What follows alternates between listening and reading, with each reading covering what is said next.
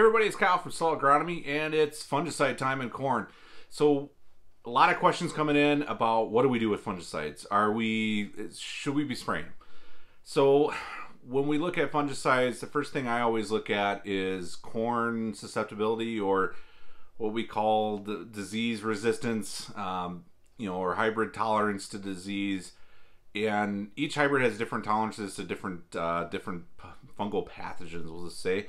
So which ones do we do? Right now i, I can't really tell you 100% you know what i would be doing is you know if you plan on a fungicide let's stick with that fungicide. If you have a lot of corn on corn with a lot of residue um, maybe we'll stick with that fungicide. You have a bmr hybrid.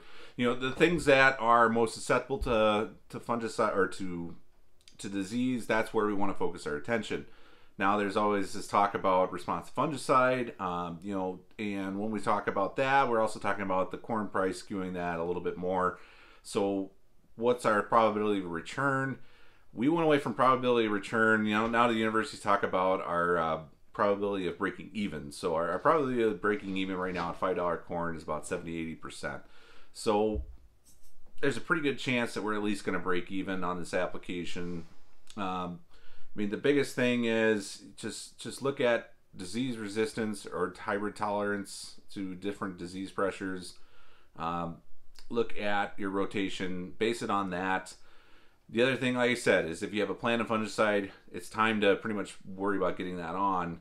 Um, right now, we're just entering tassel, and to me, with the unevenness in fields and the the lack of disease presence, we, we don't have the complete four or three parts of that triangle you know, we have hosts. Right now, we have potentially the weather, but not as much. And we have the pathogens. The pathogens are always going to be there. So we haven't quite completed that triangle. So what I would say is, if we're going to look towards maybe uh, tar spot or any other any other disease showing up, want to err on that that later side. Maybe leave a little bit of that residual late. So that would mean we're going to go after brown silk. So that's kind of the notes of what we have right now. I mean, to me, it's it's not necessarily a no-brainer. I think there's definitely a lot of decisions to make there. We need to be focusing on making the right decision. Um, it's not that you're always going to gain money. There, there's this this thing where yours where fungicide pays big, and if you miss out on that one year, it pays big. Then it, it pretty much wipes out all the other years yeah, um, I don't know if this is going to be the year that it pays big. I think this might be a year where we make you know some decent money and more will break even on it. And yeah, so that that's that's corn. Now we're going to talk about soybeans. So the other side of that is I think that in soybeans the data is not as conclusive. There there's some people that say there is. Uh, there's some people that say it, it pays every time. I don't think the data is really as conclusive in soybeans as it is in corn. So what do we do with soybeans? I, I think another one too is, is look at susceptibility. Uh, right now we're in that part of the year where we would start seeing white mold infest the plant. Ground's not really all that wet, so we're probably not going to have a huge white mold year this year. Uh, maybe in some spots, but I, I, highly doubt it'll be a bad year like it, it, has been in the past. So if we don't have white mold, what are we going after? Um, you know, frog eye leaf spots, some of these other uh, foliar diseases are we going to see a huge return in soybeans? I mean, it's it's really you know as good as I do when you look at soybean plants themselves. What is it going to yield? You know, you have a really good looking soybean field, and that's your best yielding field. The odds of that happening are pretty slim. Usually, it's the worst looking bean fields that are almost our best yielding. So, do we want to put a fun, bunch of fungicide out there? I don't think so. Um, I, I, have no problem with somebody wanting to go out and do some trials let, us let's, let's leave some strips and see if that helps. Um, you know, the other side of that too is there's a lot of guys that want to do that fungicide pass in soybeans.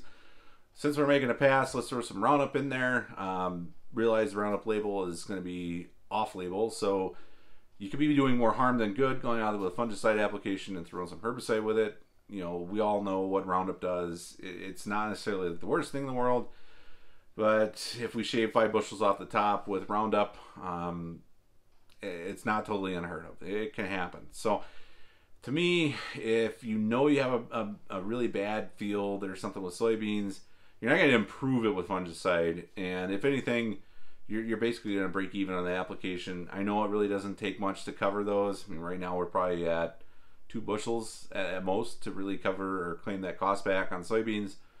Is it worth the risk? Um, I think in a lot of fields it's probably maybe worth the risk. Would I go out and do every field? I don't think so. Um, the other side of it too is it's just like corn. Make sure you assess that risk.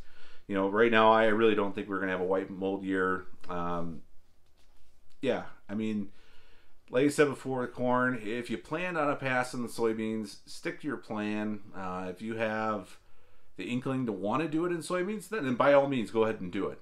But at the same point, leave some strips. Make sure we know what we're doing, and and we can use some of that data for making decisions next year. I mean, that's the biggest thing, and that's what we want out of everybody.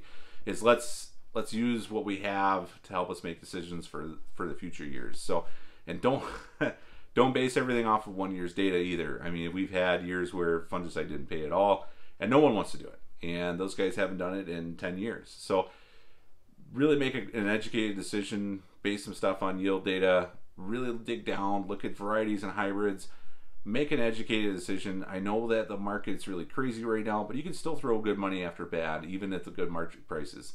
So take advantage of a good year. And, you know, if we have good weather and everything else is going great, sure, by all means, try some fungicide.